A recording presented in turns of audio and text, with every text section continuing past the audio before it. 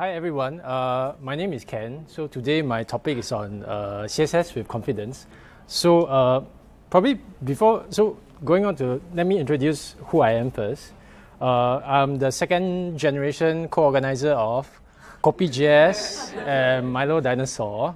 So um, it's uh, KopiJS and Milo, uh, KopiJS, we do it almost every monthly. It's just a uh, a mini version of Geekbrunch where developers, designers come, network, chit chat, Slack, and talk up. That's KopiJS.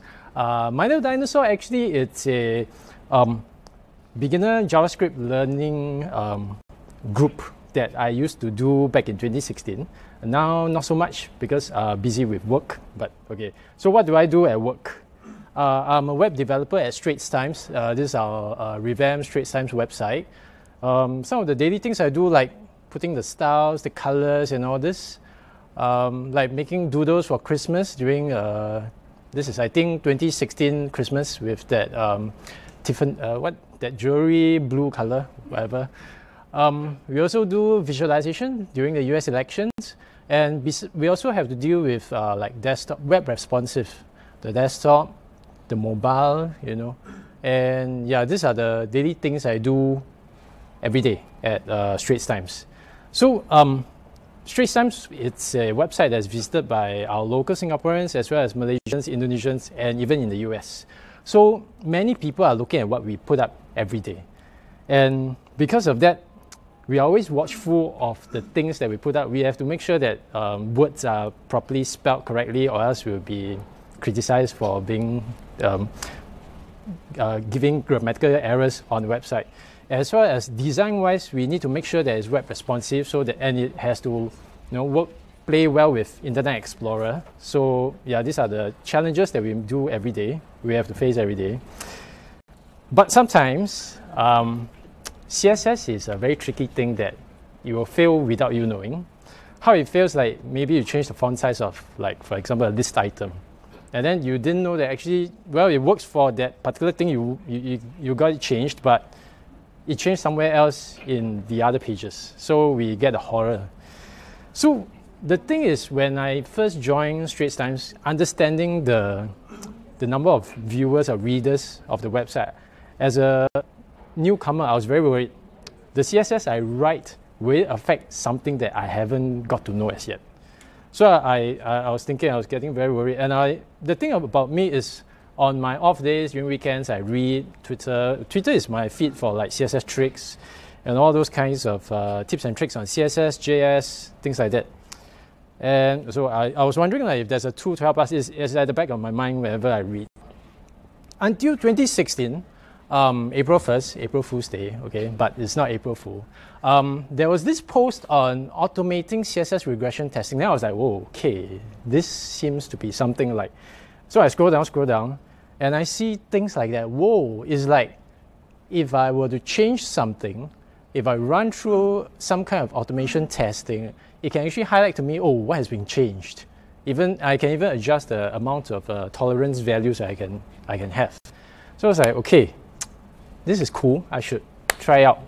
So okay, so let's try out lah. Okay, so um, this is why I, am going to show you demo. So don't worry, it's not just going to be reading. Um, so let me just bring up the terminal. Okay, so over here I've already npm init uh, my stuff. So um, in case, uh, so let me show you the website first. Uh. This is the website. Okay, this one, it's actually done by Chee Aun, which is the grandmaster of KopiJS, my senior. And uh, he has this very nice website to tell, to introduce about Asian coffee you know, with the various like percentages of sugar, water, milk, you know. They even has a coffee maker or kopi maker, depending on what kind of milk you choose, what's the strength of the coffee, and how sweet it is. You know, it, it, it, it gives you this long name, which I have never known, I've never ordered, because to me, right, I, oh, okay, keep life simple for me and the orderer. Just coffee will do. yeah. So so through this, I learned so much from this uh, visualization. So I was like super captivated. And uh, so today we are using this as a uh, demo because the thing is, let's say I'm brave enough to submit a PR to him, a pull request that, hey, okay, one of the things I find is, oh, the coffee cup seems to be kind of thick. Can I make it thinner? You know, like submit a pull request, something like that. You know, so, but I don't want to like change the coffee cup thickness and then affect some other CSS. So I probably could use this tool to help me, and uh, which I'll show you later. I do a more simpler one, which is like changing the font weight of the list item. So, okay, how do I do this? So this is the website. I, I clone it, I put it in my local uh, um, local disk. And um, so npm init is every here, everything here. So first thing is to install the package, this toolkit that runs this CSS automation test. So it's actually backstop. Uh, the GitHub, it's over here, backstop, uh, backstop.js. And uh, if I follow the, the very simple instruction, okay, npm install, I did a bit of deviation because understanding that if I globally install certain packages, I may run into a situation where I want different versions of this package for various projects. So I do a local install. So this is what I do. npm install backstop.js. I just save dev just in case. Okay, so installing. Let's see how fast the internet connection here is.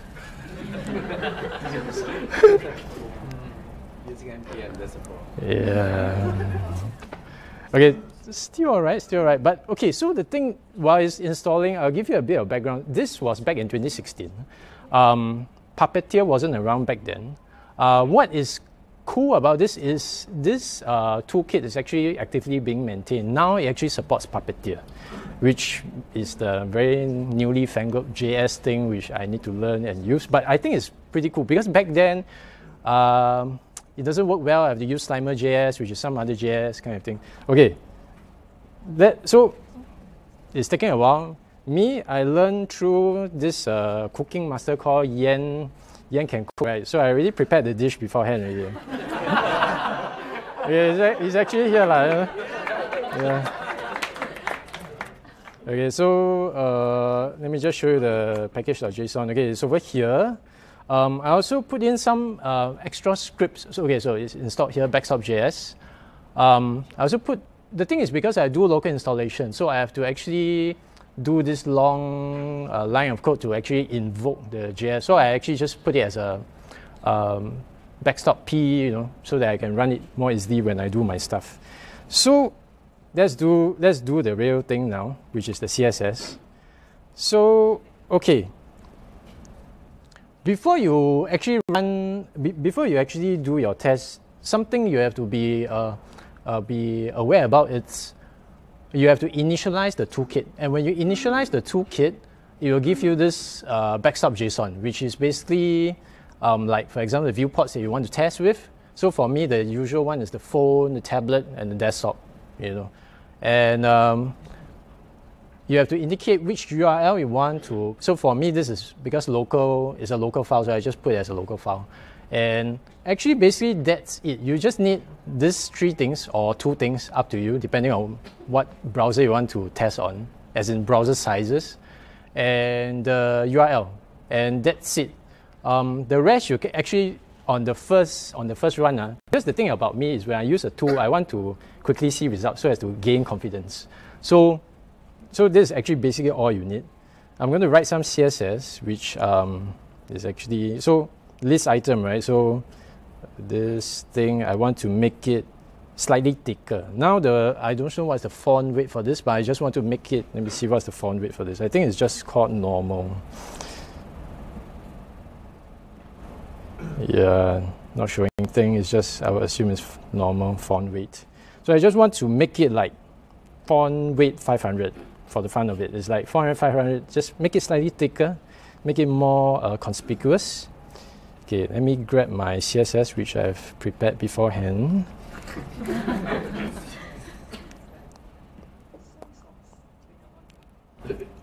I'm just going to put it at the bottom, just before the you know media queries. I'm going to put it here. Okay, to save it. I'm going to refresh it. Okay, it's going to be very subtle, but try to see if there's a difference. Yeah, it's a bit of different. it's a bit of difference. Yeah, yeah. Okay. So uh, let me see. Uh, wait, I missed out one step. I, I, I got a bit overexcited to show you the thing first. Wait, wait. Let me. Um, the thing is, before you make your changes, you need to run your reference first, um, which is npm run backstop reference. Okay, basically this command, if you guys can, uh, let me let me just uh, bring up so everyone can see. You know, actually no. Uh, okay, npm run backstop reference. Okay, so it will start to create reference files. This you, you need this first because before you can do comparison, you need a reference to begin with, and that's it. Uh, I've done the reference file. It's actually in my. Let's see where is it. It's it will be generated over here as a bitmap reference, uh, which is like super. It actually captures the whole page for you, for this uh, web as well as the desktop. Yeah. So this is the reference file. Now I'm going to do that um, list item thing. Okay. I'm going to save it and I'm going to run the test. Okay, it starts to execute. And let me see how is it going to be like. Okay, then it gives you um, what are the differences, the past ones and the failed ones. Okay, so usually we just look at where are the failures. So if you can see over here, it's pretty tiny. Uh, it actually generates out for you like where the differences is like what you saw in the slide just now, you know. And uh, okay, cool, this is what I wanted to change although this didn't get any effect, so hmm, probably I need to be, I need to check why, why is not taking the slightly bigger font, the bigger font weight. But as I scroll, do I see any? Oops, I see that the curly braces are also getting affected. That was not what I intended, you know. You know, and uh, the rest are fine, still okay. And that is not all because to be a responsible um, CSS person, you need to make sure that it works well for the other screen sizes. And uh, okay, pretty fine. It's really just the curly braces are, are just kind of um, unintended, unintentionally affected. So you probably, your CSS need to be written such that it won't affect. I'm going to show you another cool thing about this is that um, if you tap on this, okay, it actually gives you the ability to like uh, you see this red line here right? You can you can show okay this this is a little subtle because the brackets are very thin but you probably can still see the difference. Yeah then like for example here you can yeah.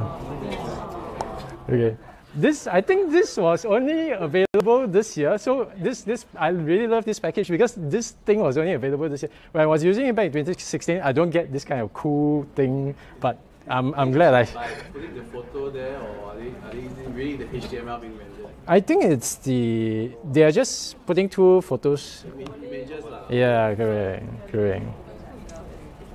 Yeah. So so I, I guess we are all very um, excited to see this thing and try this out. okay, so okay, let me see. Uh, what am I supposed to cover next? I already covered reference. Yeah. Okay, so now assuming assuming I, I don't want to wreck my head because during presentation uh, my mind actually don't really work that well. So I just you know I'll, I'll just um, let's say I'm, very I'm happy with this thing already.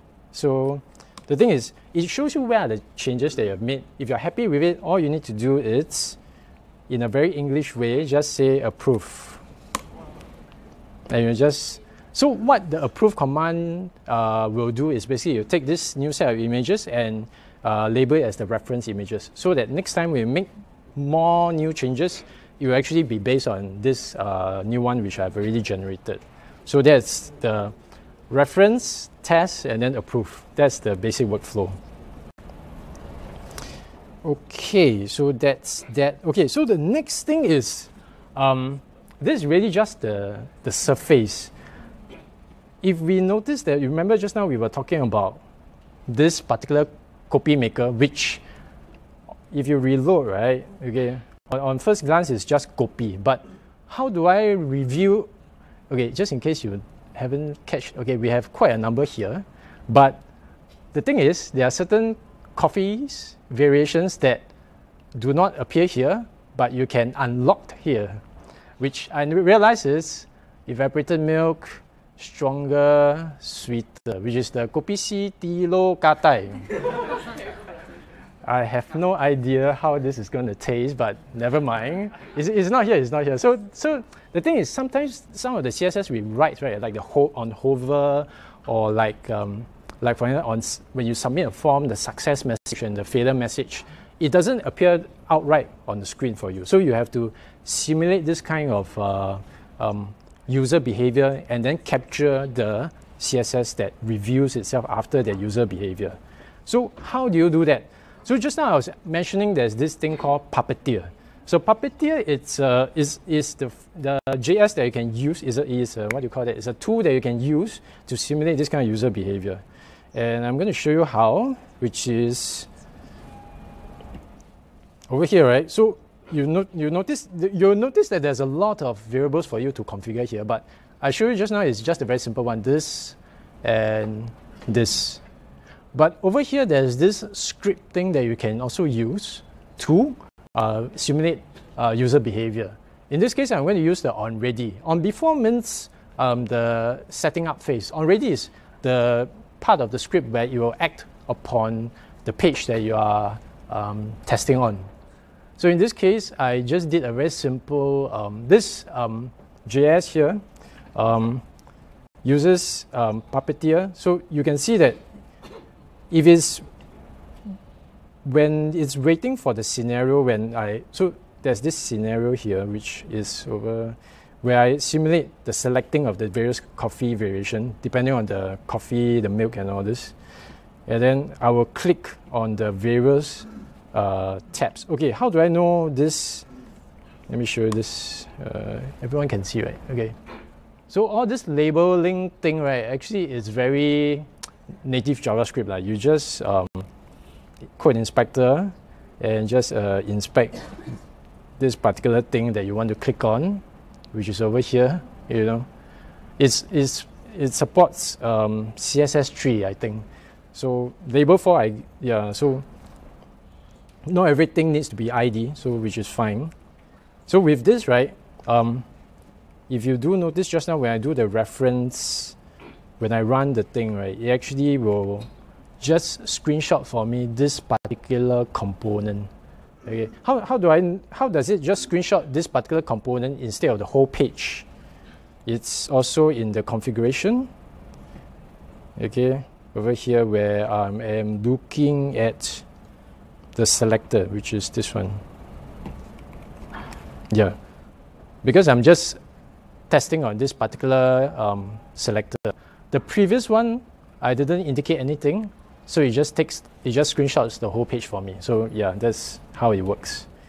So I know it can be a bit rushed, but do give, uh, go later I'll share with you the slide deck. You can look at the URL and go and fully um, go and read up and what are the various configurations that you can actually play with and also the kind of user simulated events that you can also do to make sure that your CSS works properly.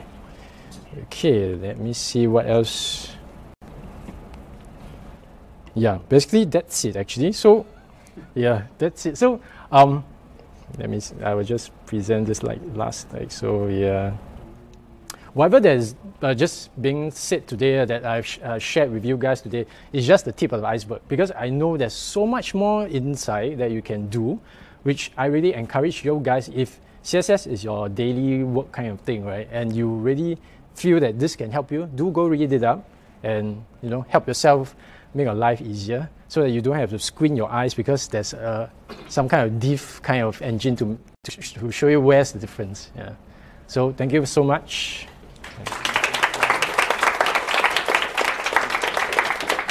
Thank you, Ken. Uh,